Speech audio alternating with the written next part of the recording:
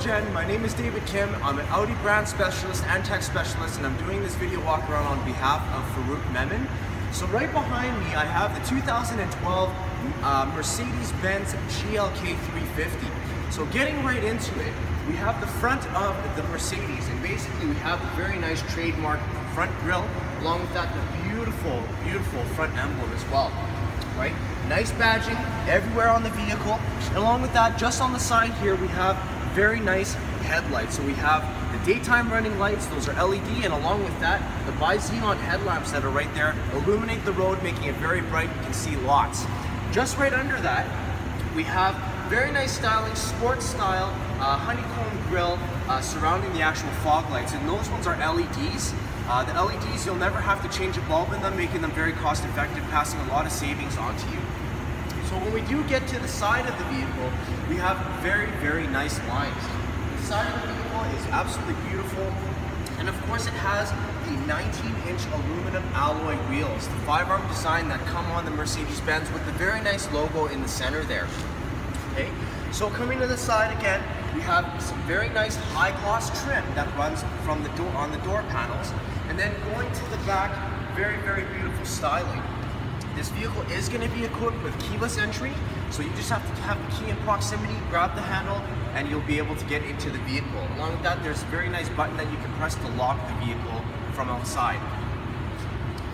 When we do come to the back of the GLK, what we are going to see is very bright headlights. Again, LED.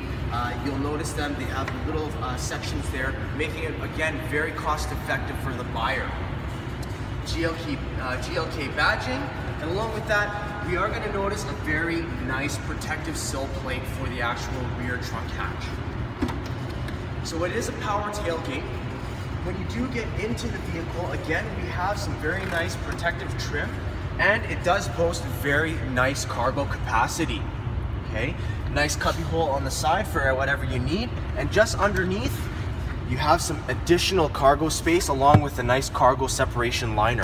Now that does lift out and you will get under that the space saving tire and the spare tire is fantastic, makes it very easy, all the tools are nice uh, within easy reach. All right, so when we do get into the back seat of the vehicle, there's a ton of space there and a lot of leg room. So the vehicle has very premium leather that's used inside. And along with that, um, some very nice um, anchor points for any child seat that needs to be in the vehicle.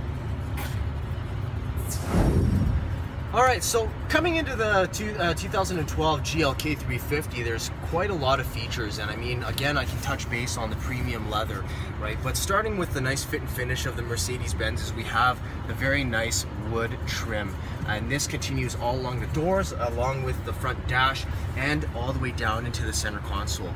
Absolutely beautiful, makes the vehicle look super sharp mixed with that aluminum.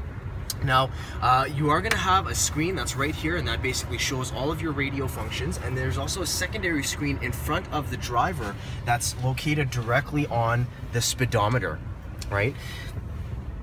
So, when, when we're looking at this vehicle as well, there's a ton of features and everything is within arm's reach. It has Bluetooth functionality, uh, hands-free, and you can control your volume right on the steering wheel, and it's a three-spoke, leather-wrapped, multi-function steering wheel. Um, all of your diagnostics and the computer in front of uh, the driver is all controlled right here.